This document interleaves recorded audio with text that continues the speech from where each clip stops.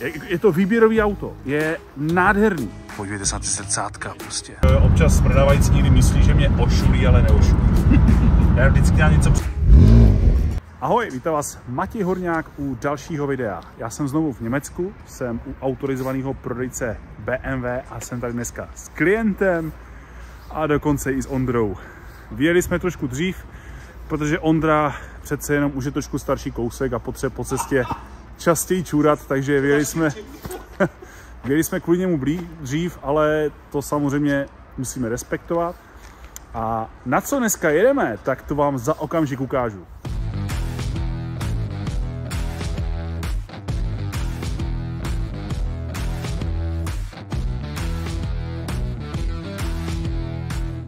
Tak, co si to dneska dáme?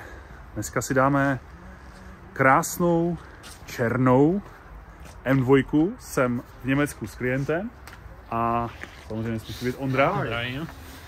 A my se na něčem moc těšíme, jsme tři mladí kluci v Německu a jdeme si kupovat M2, nebo klient si jde kupovat M2. Já ne, já jezdím ve Škodovce a jsem si jak to dneska dopadne, no, protože auto má je to 13 000 km, 3 litr turbo 410 koní, auto z roku 2020, říkám to správně. A Zatím se nám to auto moc líbí, tak si ho pojďme ukázat i na kameru.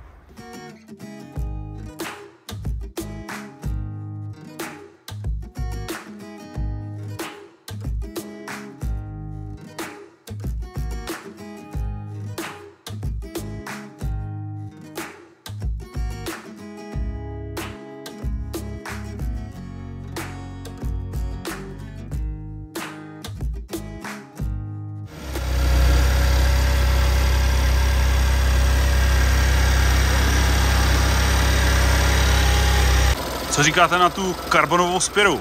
Jinak uh, sytič už tam spadnul, takže otáčky postupně dolů motoru. Já vždycky doporučuji, že v té přechodové fázi, kdy motor není úplně studený a postupně se zahřívá, tak je nejdůležitější poslouchat zvuk motoru.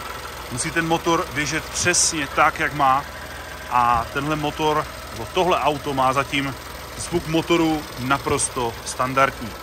Já jsem sedl do auta a hned první věc, která mě na tom autě nevyhovuje, ale musíte brát v potaz, že já nejsem normální člověk. Já mám dva metry, mám velký zadek, prostě kdo mě nezná, tak to asi neví, ale, ale je to tak. A já se prostě do těch sedaček, co se týče toho spodního vedení, já se do toho prostě nevejdu a je mi to strašně nepříjemný. Takže v tomhle e, případě pro mě například C Mercedes trošku vyhrává, co se týče sezení za volantem. Asi bych u tohohle auta měl stále takový ten vnitřní pocit, že z toho auta musím vypadnout, odejít rychle pryč, protože uh, se mi s tom sedí fakt nepohodlně. Na druhou stranu asi to bude zatáčka fakt dobře držet. Trošku máme víc zrezlý kotouče, než bych se asi úplně představoval. Ono už asi nějakou dobu tady to auto stojí. Teď doufám, že nás pustí, že ho celý bude moc vyjet, no. Zkusíme si to obět, kluci. Hmm?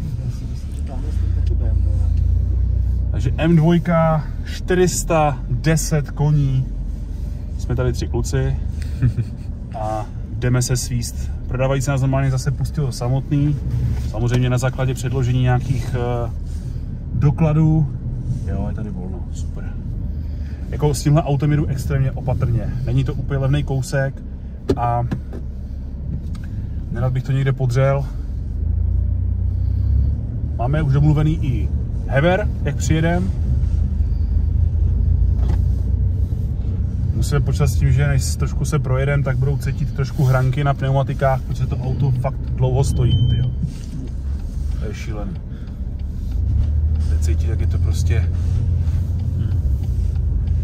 nějaký drobný cukání u těchto aut a podobně, musíte to tomu autu odpustit. To auto je fakt stavěný na okruh, to znamená, že uh, prostě je to hnusný to poslouchat, já vím, no. Láme to srdce takovýhle zvuk, ale prostě bohužel s tímhle tím prostě je potřeba počítat, no. No tak jo, tak my necháme pořádně zahřát auto a pak vám povíme nějaký zážitky. Tak my zahříváme motor. A já postupně z toho, jak jsem se neusmíval, tak se začínám usmívat. Dáme tam. Už to je auto. A mně se líbí, jak tady přijde trošku po východu.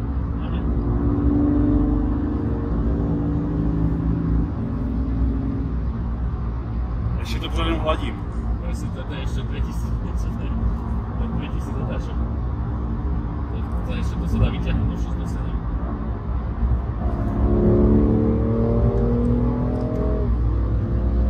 Prosím je, je to suchý, jo, ten asfalt. Nemusíte se bát, jedeme za sucha, za dokolka, venku je 2 stupně plus, máme na autě krásný 30-letní pneumatiky, kdo by jezdil s M2 na zimních pneumatikách, kromě mýho klienta. A plánuje v tom, že jsme jezdit celý, celý rok, jo? Říkám to správně? Zaprvé moje auto na výlety v lete je zima. Zima teda méně. Ty jste to, ale to mě ujelo v této zatáčce. Co chci, co chci ještě určitě upozornit, tak na podzazování v zatáčce. Může vám to občas škubnout i v zatáčce, když podzadíte. No, je to dosti nepříjemný. Já bych se klidně otočil a měl bych zase zpátky a klidně si tohoto trasu můžeme ještě jednou. Motor máme samozřejmě dostatečně zahřátý. Je to fajn. Co musím říct? Eh, Jak strašně vychvalují ty C, kupé a to, ten kombík, co má. Tohle podvozko je úplně někde jinde. Jako, nedá se to srovnat vůbec. Je to prostě motokára, je to malinký auto a opravdu je to jinde. Jako když jedu tuhle zatáčku, to je prostě, to auto vás tlačí, abyste jeli ještě rychleji. Jo. Já jako nechci to moc hnát. Dostali jsme, dostali jsme důvěru od prodávajícího, prodávajícího pustil nás sám, tak to nechci úplně nějak jako ostře tady zkoušet, ale zatím musím říct, že fakt tohle je neskutečný.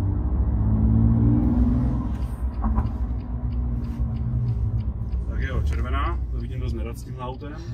A jedem zpátky. Všechno zde funguje, zkoušeli jsme veškeré asistenty, prostě tyhle věci. No to určitě nechceme, chceme Sport Plus, tak. A si myslím, že nastavuje Převodovky, převodovky. přesně tak. A myslím, že to je Kam to až pouští. Přesně tak, kam to pouští až. Tady máte vlastně nastavení, eh, nastavení převodovky, nastavení řízení, jak se to auto bude chovat a tohle, tohle máme taky. Nevím, co to je, ale všechno teďka ve Sport Plus, takže nejspíš všechno teď je vypnutý kromě, eh, kromě ESP, kromě kontroly, kontroly trakce a kontroly řízení, to tam nechám, jestli vám to nebude vadit. Určitě mi nevadí. Není to Já- moje Já auto. ho tiež neplánujem vypínať nejakú najbližšiu dobu, keď ho kúpim. Cenovka auta? 57, 58? 58 tisíc, což znamená 1,4 1,4 1,4. milionů. Je to o zhruba o 200 tisíc korun levnější auto než v Čechách. Nechci O to žád- stále. No, v porovném stavu s podobným nájezdem, máme na je to 13 tisíc kilometrů. Věřím, že se eh, že si pamatujete na Mercedes se 13 tisíci kilometry, který byl špatný, ale tohle auto nelakovaný, vypadá esteticky moc hezky, pár drobných škrábanců na autu najdeme, byly hlučnější ty kotouče se stičkama, jak jsme slyšeli, předek, zadek, to auto fakt delší dobu stálo, ale myslím si, že pár pořádných probrždění eh, a ty kotouče s deskama se dají, se dají dokupy. Pneumatiky, jak jsem říkal, z roku 2020 jsou... Oh, ta reakce je neskutečná. Já bych to radši fakt v kterým netočí, protože strašně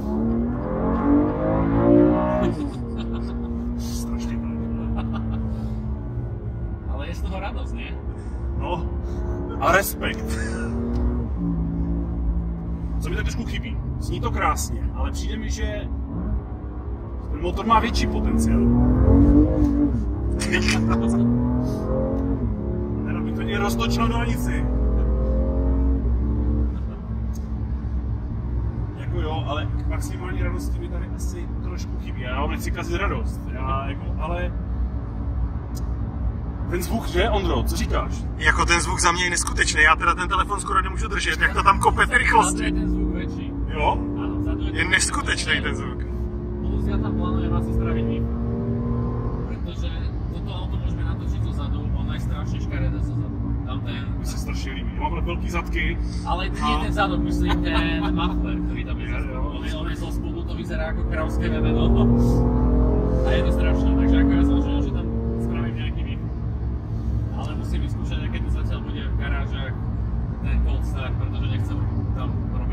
Víte, co mě mrzí? Že jsme dneska nedali to C. To by bylo zajímavé srovnání.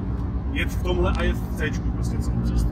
Jako C je pláto oproti tomuhle, co se týče podvozku. Samozřejmě to moje C má je to 130 tisíc, tohle to má je nový auto, ale ta M, M2 je fakt, co se týče podvozku, úplně někde jinde, ale zároveň ten jízdní projev, mě tam tak trošku chybí takový ten dravý zvuk toho, toho motoru, prostě, který se vlastně eh, projevuje v tom výfuku. Ten jako to C od motoru má bodný zvuk, ale více se to ozývá vzadu. Počkej, já ti do toho skočím, pojď si sednout do zádu, tady jako já vůbec ten pocit nemám.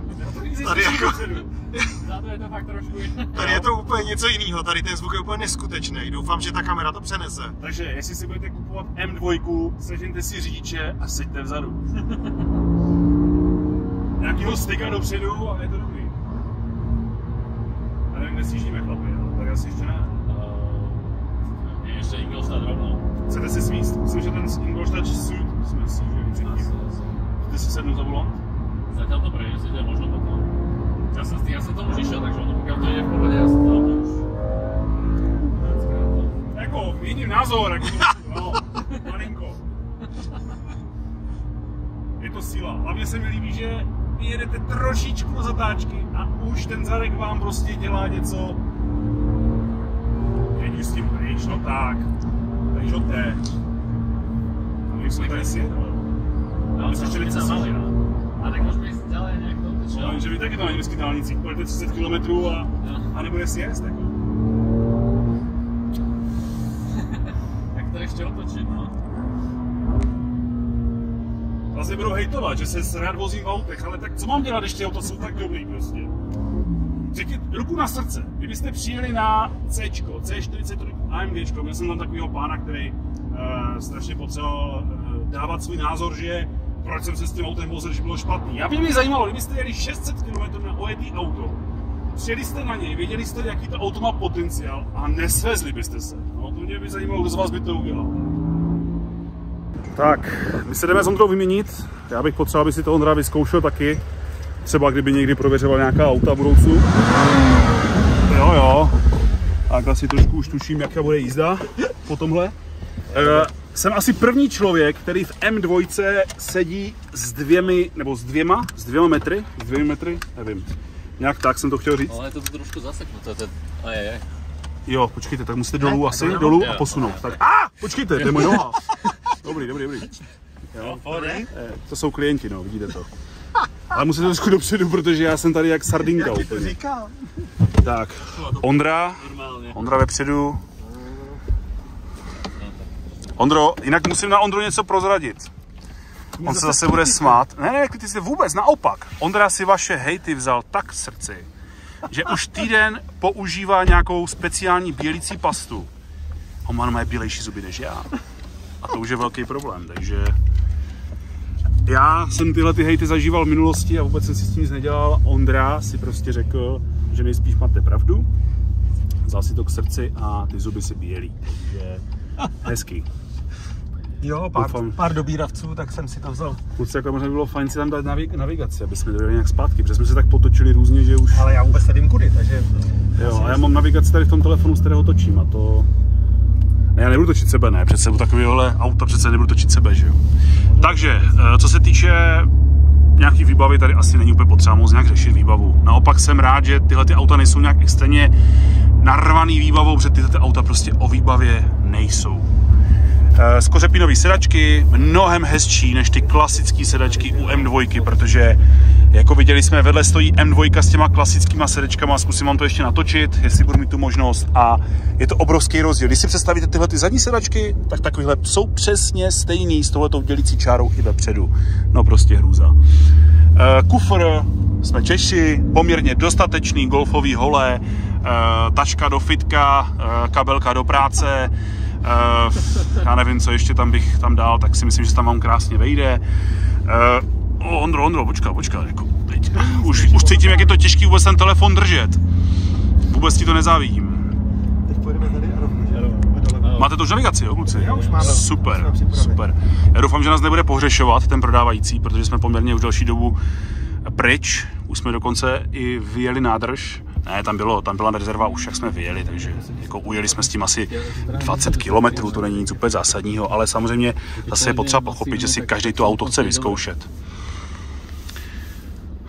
Volant krásný, co? Jako fakt to auto mělo, měl normální člověk, nejezdilo s tím prase, dokonce jsou vepředu i vzadu původní pneumatiky. Po 13 000 kilometrech původní pneumatiky, díky bohu za to, protože jsme v minulosti zažili už i to, že třeba po sedmi byly světy totálně. Pamatujete se na to, eh, na to C, C43, AMG Coupe, to druhý, co jsme prověřovali s Aničkou, tak tam to bylo totálně, totálně sešlehaný. Ondra na dálnici, líbí se mi třeba když jsem, když jsem strašně vychvaloval ty červený pásy u C, které se mi teda líbily trošku víc než tyhle, ale za na druhou stranu to, to krásné prošívání m v těch pásech je taky krásný. I vzadu je prošívání modrý, to je Alcantary, ježišmarja, to je Alcantary taky nádherný. Jako fakt, to auto je pěkně, detailně udělaný. Startovací tlačítko, pěkně červený, počkejte. To, to je fakt dobrý. Je, je, je. je. Ale 12 km, počkej. 12 km dojezd máme, jo, takže držte nám palce, ať se vrátíme. Po případě vám, když tak řekneme instrukce, na jaké dálnici jsme, na jakém kilometru. Eh, A9 a kilometry, kluci, ještě tak? Ale teď, teď mám před očima jenom auto. A vy jste pro nás přijeli. Jo. On to na to moc nešlape, jo, jako fakt decentně jenom. Já teda jsem říkal už klientovi, a to už on teda nenatáčel, já jsem možná čekal malinko vyšší výkon. Prostě těch 410 koní, asi jsem čekal trošku lepší projev u tohohle auta. Co ty, co ty kotouče se skama už se srovnali trošku? No já nevím, Ondra říká, že to tady zarůzní nějak brutálně, jako já nemůžu říct, jako. Ondro, já tě asi svezu v C, upřímně, jako fakt. Máš tučný zadek, ty to necítíš? Tučný zadek? Jakže to neslyším přes ten můj tučný zadek. no, tak se to slyšeli, no. Jsem tučný, no. A vidíte to, mám rád Slováky, jezdím se Slovákama do Německa, nemám nic proti Slovákům, takže i cestu do Německa jsem s nima zvládnu. Dobrá hudba. Začali jsme slyšet nějaký vůle prostě na z převodovky jakoby zvukově, ale schválně jsme si nastartovali i jinou M2, ta zněla úplně stejně. Přece jenom tyhle ty auta, eh, ty vůle prostě v těch komponentech mají trošku větší, protože jsou stavěný na mnohem větší nápor výkonnostní. Jdeme si auto zvednout, jsme zpátky na bazaru. Já jsem zvědav, co na spodku najdeme, nebo já doufám, že nic nenajdeme na spodku. A líbí se mi, že přijížděte do bazaru. BMW a 2000 je vepředu. Oni prostě v BMW vidí, co jsou nejlepší auta.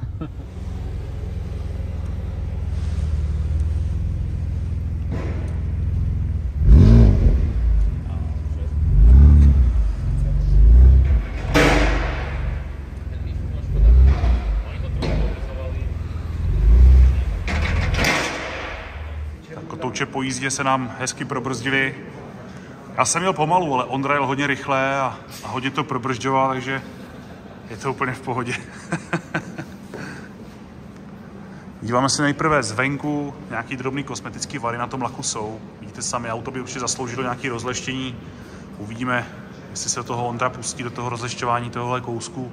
Myslím si, že by z toho udělal fakt krásný auto. Samozřejmě přední nárazník, klasika, trošku od kamínku, oprýskaný, nic, co by bylo, eh, co by bylo nenormální. Fakt je hezký, že prostě 13 tisíc na je to a ty pneumatiky vypadají krásně. Vypadají na těch 13 tisíc kilometrů. Že s tím nikdo nejezdí jako prase, nejsou ty eh, vnější hrany nějak oskákaný, opálený prostě z těch eh, průjezdů, ostrých zatáček. Pojďte se jako jo, tady tohle to nejsou škrábance, tohle to jsou jenom fleky eh, od vody, ale ten lak vypadá krásně. Není zničený, fakt by to chtělo trošku péče a myslím si, že z toho auta eh, bude prostě fakt pěkný kousek. Jsem hrozně rád, že ty M2 mývají tyhle ty folie eh, před těmi zadními koly, protože samozřejmě ty kamínky, které lítají z těch zadních kol, tak prostě dělají neplechu, pak ten lak vypadá hnusně. Tyhle ty folie, pokud je nemáte, dokupte si je, protože fakt jsou potřeba na tom zadním blatníku. Udělá to spoustu eh, ochrany a budete pak za to vděční, protože pak se ty blatníky musí lakovat a zase při prodeji to nevypadá úplně nějak extrémně dobře. Tak, díváme se už na auto ze spoda.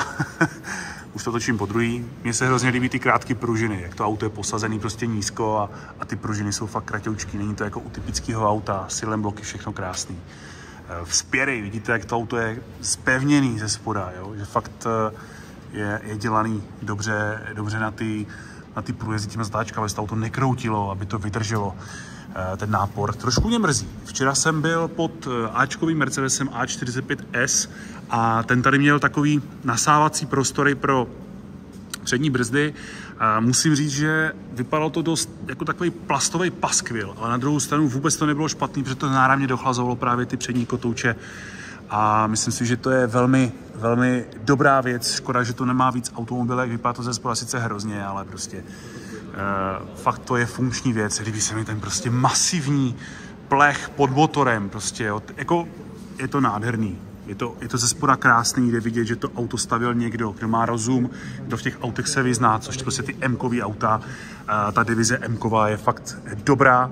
A ačkoliv prostě víte, že já ty bavoráky v poslední, nebo mám je rád, ale jsem v poslední době dost zklamaný z bavoráku, tak tohle auto je fakt krásný. žádný únik provozních kapalin, jak z vrchu, tak ze spodu. Krásný auto, opravdu krásný. Ještě jsem vám zapomněl ukázat.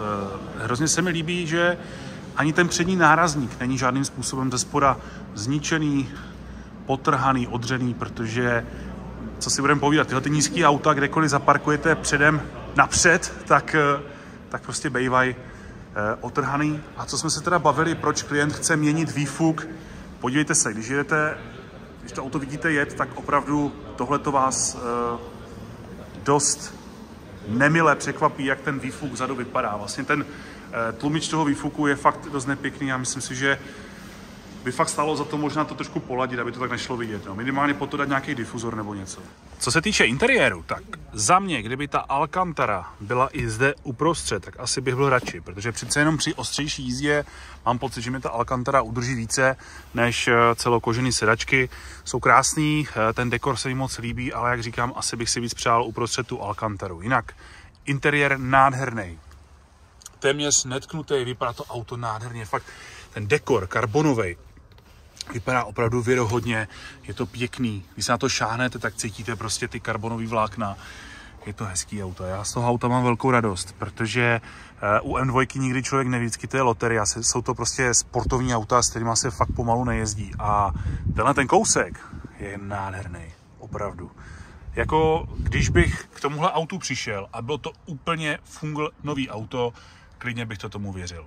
Kosmetických vad na autě je úplné minimum, vidíte spíš víc mě než tu kosmetickou vadu ještě na těch eh, pravých dveřích. Tady máme takovou asi největší kosmetickou vadu, jinak to auto vypadá krásně, opravdu. Všechno funguje, všechno funguje hlavně jak má. Eh, dokonce nám to auto teďka umili, chtěli jsme poprosit prostě, protože to auto bylo hodně špinavý, aby nám to umili, aby jsme viděli ty kosmetické vady. Jsou zde velice ochotní, příjemní, zvedli auto, projížďku, všechno, s ničím nemají problém. Já bych za tohle moc chtěl poděkovat eh, tomuhle autobazaru a já si myslím, že tu M2 asi vezmeme, no. Jako touče se skama byli orezli proto, protože to auto zde stojí zhruba od října. Vidíte, že ve 13 000 kilometrech byl dělaný poslední servis společně s výměnou oleju, takže klient má teďka eh, zánovní olej minimálně na těch 7-10 tisíc kilometrů u těchto těch motorů doporučuji opravdu strop 10 000 km ještě, eh, když člověk s tímhletím autem prostě jezdí opravdu trošku ostřeji. Co bych chtěl ještě ukázat, vidíte Piano Black, krásný, bez škrábanců, fakt hezký zachovalý auto. Z toho auta máme obrovskou radost. Prošívání v tom volantu, pěkně modro, eh, červený, fakt, fakt hezký auto, karbon všude, i Harman Kardon všude. Se zamlžováním světlometů nemají problémy jenom koncernový auta, ale jak vidíte, tak všechna auta. I ve 13 000 kilometrech tyhle ty ledkové světlomety můžou být zamlžený.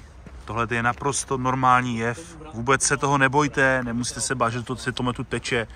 Eh, ledkové světlomety už nemají takovou výřevnost jako světlomety, jak xenonový, tak halogenový a samozřejmě ty ledkové světlomety po vypnutí svícení prostě se takovýmhle způsobem uh, mlží.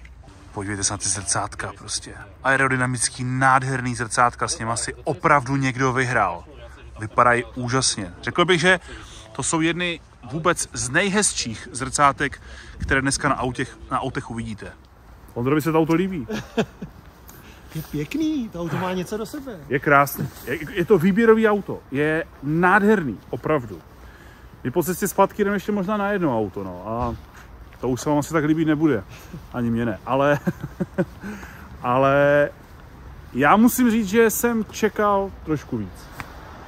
Jo, jako Jede to krásně, zadokolka, OK, teďka mě klidně ukamenujte, nadšenci BMW, ale prostě ruku na srdce, prostě M dvojka ze 410 koněma, já bych čekal trošku víc, víc asi nějaký síly, nějakého, nějakého jízdního, auto sedí nádherně, je to jak motokára, ale prostě já tam ten výkon necítím. Prostě. Možná to je nějaký subjektivní dojem, teďka sednu do svého auta, do své káry a, a budu mít pocit, že to vůbec nejede, ale já jsem měl prostě tu potřebu to říct, že mi tam chybí takový to extra nadšení. Takový to, co jste možná ze mě viděli, když jsem řídil tu C43, tak eh, mi to tam prostě trošku chybí. Ondrovi ne, že on se usmívá. Ne, On se usmívá pořád, ale Ne, za mě to auto je hezký, myslím si, že potenciál má, ten motor má ještě potenciál. to jo. A myslím si, že když zákazník se s tím naučí jezdit, tak si to ještě přifoukne. To je můj názor. Já si myslím, že se to určitě přifoukne. jo. Tak jo, tak my teďka můžeme do našeho auta. Já ho s vámi ještě natočím, s tím jsme dneska v Německu, protože jsem na to Ondru pindal a no, taky na mě došlo. Tak jak vidíte, my už eh, plný nadšení, srandy, jedeme domů. Byli jsme se ještě podívat na jedno auto v okolí Plzně, eh, taky pro Slováka. A dneska máme takový slovenský den, Ondra zase nevypl zvonění. A druhý auto bylo hezký, moc pěkný, i když určitý podezření tam vzniklo, protože jsme přijeli k autu a měl teplej motor, i když jsme byli s prodavajícím domluvení, že prostě teplej motor nebude. Eh, Pan teda dělal první, že jo, že to, že to je určitě studený prostě, šáhl si na motor a zjistil, že je fakt teplej, tak asi zjistil, co udělal. Myslím si, že ho nastartoval, jsme přijeli, ale bohužel i takové věci se dějí, oni se totiž eh, občas prodávající někdy myslí, že mě ošulí, ale neošulí. Já vždycky na něco přijdu. Ne, ale autovka byla krásná. Jako Jo, musím byla říct, byla jako decentně upravená, eh, fotky dávám do prostřihu a musím říct, že jako jela moc hezky. I když nejsem úplně zastánce nějakých úprav, tak to auto jelo fakt nádherně. Eh, Dělalo všechno, co má. Původní majitel byl první majitel a eh, ty úpravy, které tam dělal, tak si dělal sám. Oleje každých 10 000 km a podobně. Tebe už bolí ruka, co? co? Ne, já jsem jenom překvapený, že chválíš oktávku. Jo, to je divný, co? To se moc nestává. No, ještě, že nevidíte, v čem dneska jedem do, do Německa, ale ani to neukazuje. ne, fakt krásný auta dneska, takže hezká M2, krásná RSová oktávka, takže úspěšný den mám za sebou, máme za sebou. Navíc eh, dneska plný sympatických lidí s Ondrou a s klientem Matějem, takže dva Matějové a Ondra. A já moc děkuji, že jste se dodívali až sem. Budeme se určitě na vás těšit v dalších videích. Možná, že i Ondra ještě bude, uvidíme. ty máš krásný ty zuby, fakt Ondro. Ne, pochval, pochvalte mu ty zuby, prosím, v komentáři. Taková dřina. No, tolik dní na tom pracoval a děkuji, děkuji moc za komentáře. Opatrujte se, mějte se rádi a nezapomínejte, život je příliš krátký na to, abychom jezdili ve špatných autech. Ahoj. Ahoj.